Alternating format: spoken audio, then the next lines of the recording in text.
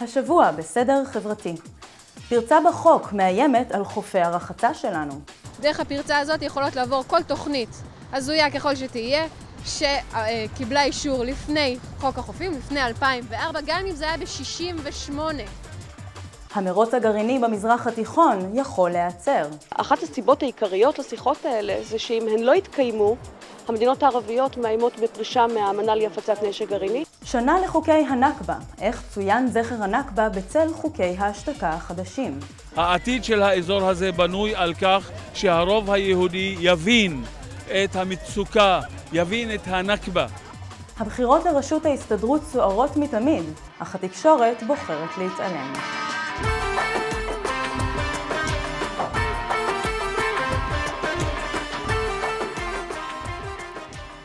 סדר חברתי, מהדורת האקטואליה של הטלוויזיה החברתית. עם אישור חוק הסביבה החופית ב-2004, נראה שהמאבק נגד בנייה על חופי הים תם ונשלם, אך פרצה בחוק עדיין מאפשרת ליזמים להציב מפלצות בטון על רצועת החוף. דרך הפרצה הזאת עוברים מגדלים, כמו מה שאנחנו רואים פה מאחורינו, כמו אה, כפר הנופש בפלמחים הוא עבר דרך הפרצה הזאת, כפר הנופש בבצת, עשרה מגדלים שרוצים להרים בחוף אכזיב, שזה אחד מזכויות החמדה של המדינה שלנו, עוברים דרך הפרצה הזאת. את הפרצה הזאת, שנקרא לה תוכניות ישנות, נצטרך לסגור. דרך הפרצה הזאת יכולות לעבור כל תוכנית, הזויה ככל שתהיה, שקיבלה אישור לפני חוק החופים, לפני 2004, גם אם זה היה ב-68. בתחילת חודש יוני תובא הצעה לתיקון החוק לדיון בכנסת. פעילי הפורום הישראלי לשמירה על החופים מזמינים את הציבור הישראלי לקחת חלק במאבק ולחתום על העצומה לסגירת הפרצה בחוק. מנהיגי המדינה ואמצעי התקשורת מזכירים לנו חדשות לבקרים את הצורך לנטרל את האיום הגרעיני האיראני. למרות זאת, ישראל מסרבת בינתיים להשתתף בסבב שיחות המאורגן על ידי האו"ם ומתוכנן לדצמבר 2012, שבו נציגים מכל מדינות המזרח התיכון ידונו באפשרות של יצירת אזור חופשי מנשק גרעיני. כל המדינות שחתומות על האמנה לאי הפצת נשק גרעיני, שזה בעצם כל המדינות בעולם, למעט הודו, פקיסטן, צפון קוריאה וישראל, החליטו על שיחות אה, שהמטרה שלהן היא מזרח תיכון מפורז מנשק להשמדה המונית. אחת הסיבות העיקריות לשיחות האלה זה שאם הן לא יתקיימו, המדינות הערביות מאיימות בפרישה מהאמנה להפצת נשק גרעיני, מה שעלול להוביל למרוץ נשק גרעיני במזרח התיכון. השיחות התקיימו בעיר הלסינקי שבפינלנד, ומדינות רבות כבר הבטיחו את השתתפותן, ביניהן איראן ומצרים. ב-2 ביוני יצוין ברחבי העולם היום הבינלאומי למאבק בנשק גרעיני. בישראל מתוכננת פעילות להעלאת מודעות הציבור לאופציית הפירוז, במטרה להפעיל לחץ על הממשלה לשנות את עמדתה ולקחת חלק בשיחות בפינלנד. הנושא הזה כמעט לא מסוכר בכלל בתקשורת הישראלית, ולכן אחד הדברים שאנחנו מנסים לעשות זה להציף את הנושא, להרחיב את השיח בישראל, לגרום לזה שיותר ויותר אנשים בישראל ירגישו שיש להם את הזכות לדבר על זה. כי היום אנשים פשוט לא חושבים שמותר להם לדבר על זה. אני חושבת שראש הממשלה ושר הביטחון ושר החוץ שלנו צריכים לחשוב היטב האם הם מוכנים לקחת אחריות על מרוץ גרעיני במזרח התיכון, כי האחריות היא עליהם.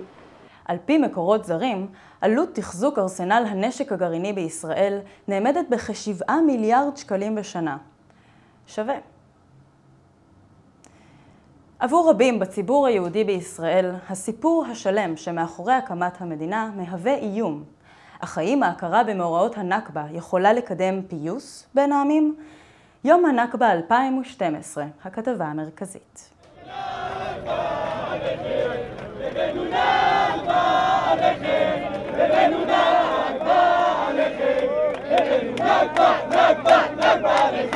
מדיניות כל ממשלות ישראל הייתה ועודנה להדחיק את האסון הלאומי שהפלסטינים חוו ב-1948.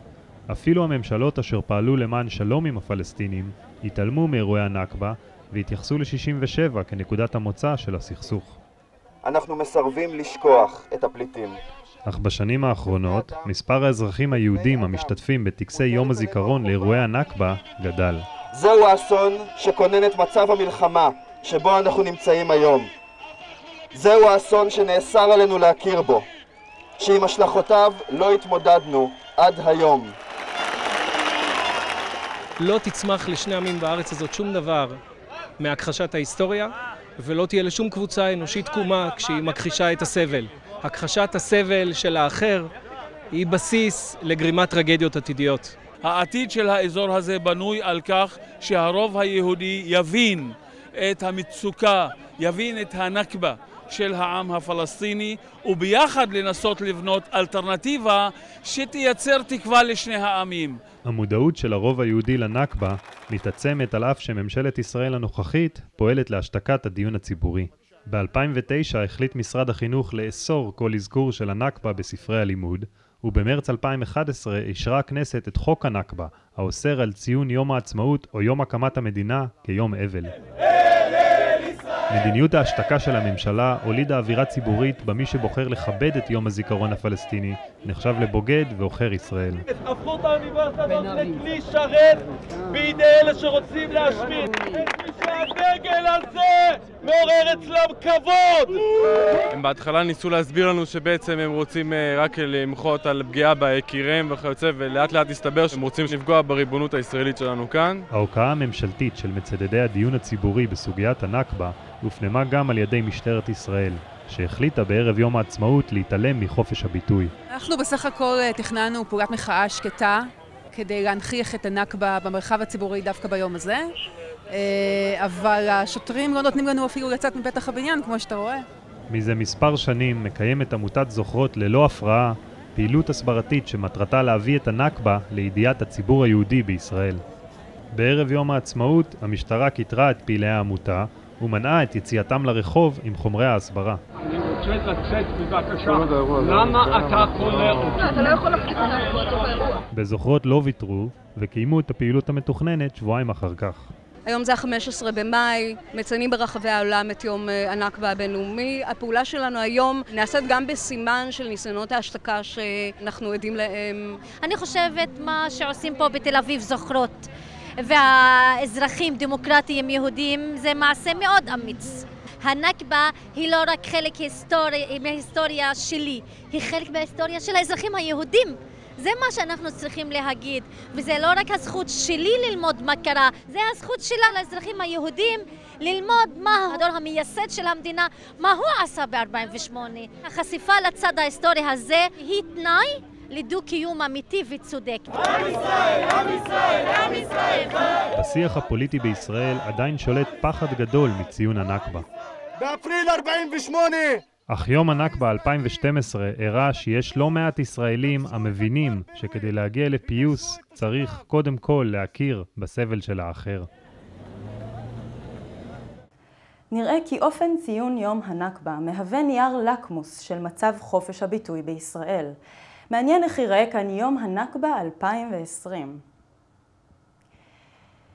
טבעי היה שאת הביקורת על התקשורת נייחד הפעם לאופן שבו התקשורת מסקרת בימים אלו את האלימות כלפי מבקשי המקלט, את חוסר ההבחנה בין מבקש מקלט לפליט, את השימוש החוזר במושג מסתננים, מידע שקרי על אחוז הפשיעה בתל אביב המיוחס לאפריקאים, ושאלות בלתי מוסריות שנשאלו על ידי בכירי התקשורת, כגון מדוע לא משתמשים בנוהל החזרה חמה.